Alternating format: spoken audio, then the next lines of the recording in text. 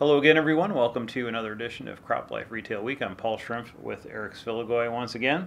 Uh, Eric's going to take the chair and, and, and, run with it here in a sec. He had some visits last week he wanted to talk about. But I just want to mention last week I had a, um, a, uh, meeting with the, uh, the, Coalition for the Advancement of Precision Agriculture. And one of the things on the docket was talking about UAVs uh, and UAV regulations. And, and there's still, I, I guess I would just say, even though FAA is working on this, and there's been a lot of excitement about the movement on that front.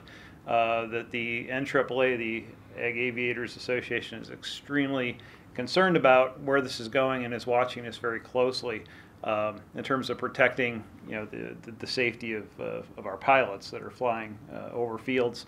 And of course, we've had uh, a few near misses with uh, with some of the drones that have been out near airports and things like that. So there's there's still a lot of concern. I'm personally concerned. I think a lot about about the extensive use of drones, and hopefully they can find a way to make the regulations work. But it is still uh, it's still something that's going to be very much in flux, and is going to be affected by the news. I think of the day on and off uh, over the next few months. So just wanted to share those thoughts, and now turn it over to Eric and some of his visits. All right, thanks, Paul. Yeah, last week I had the opportunity to uh, make a trek through Indiana. I was on my way to visit with the folks at Dow AgroSciences. They were holding a media event, and uh, pretty much drove pretty much the whole length of Indiana. And uh, up north, the crops looked pretty nice, but as I got further south, um, basically south of Fort Wayne, uh, I saw a lot of flooded fields, a lot of stunted corn uh, things look pretty bad. And I know a few weeks ago we mentioned about the fact that crop losses in Indiana could top about $500 million this year. Um, well, I was at the Dow event. One of the gentlemen I talked to was an agronomist from Mycogen Seeds, and uh, he gave this update on what's been going on in the important I states Illinois, uh, Indiana, and Iowa. My name is Andrew Farrell. I'm a commercial agronomist for Mycogen Seeds uh, here in the state of Indiana, supporting growers from uh, basically the Michigan state line all the way down to the Kentucky state line. And today I've talked a little bit about what is the crop condition across the I-states, uh, working with my counterparts, other agronomists uh, through Iowa, Illinois, and Indiana. And uh, basically the consensus is the same as you move east to west through the I-States. Uh, conditions are wet, and it would be kind of an understatement to call it wet. It would be excessively wet, and it's been so really since planting. Um, you know, it, as, as, you move from west to east, from Iowa to Indiana, the crop condition seems to seems to decline. Or, and what I mean by decline is crop variability seems to increase due to excessive rainfall since planting.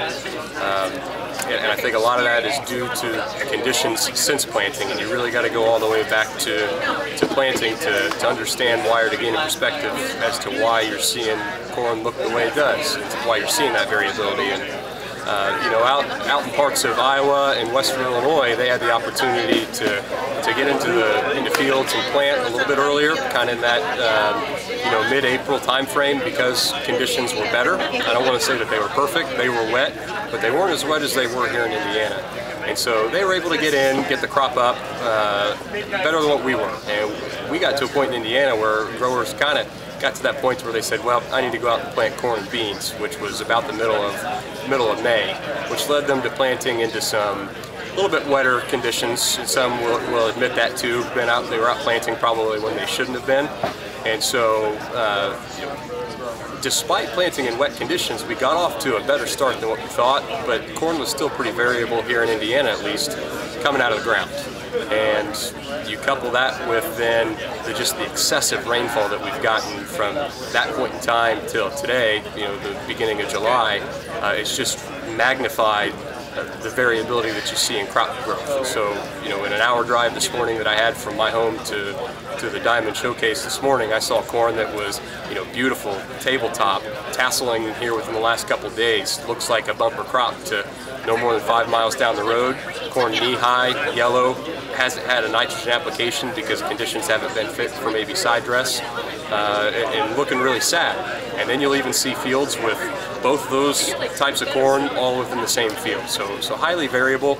And it, it seems like in my, my drive that I recently got to make from Indianapolis to Ames, Iowa, and back, once you kind of hit that Champaign, uh, Peoria area in Illinois, that's when it, the crop condition starts to improve, but it, it certainly is a little bit less than ideal. And as you come east into Indiana, and the further that you go east, and even the further that you go north into Indiana, uh, the crop condition's pretty poor. Uh, and, and the concern is, how much yield have we lost? Is there anything that we can do about it now?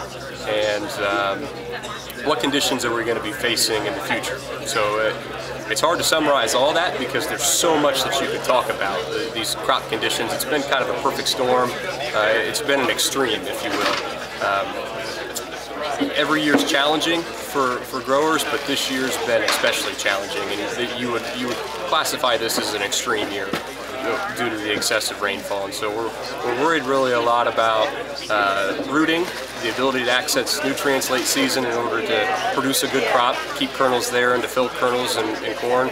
Uh, we're worried about leaf diseases starting to already show up, uh, gray leaf spot and northern corn leaf blight are diseases that we typically don't see until closer to the end of July. And out walking fields here over the weekend and the beginning of this week, we're starting to see them show up. And so that we got a long way to go until harvest.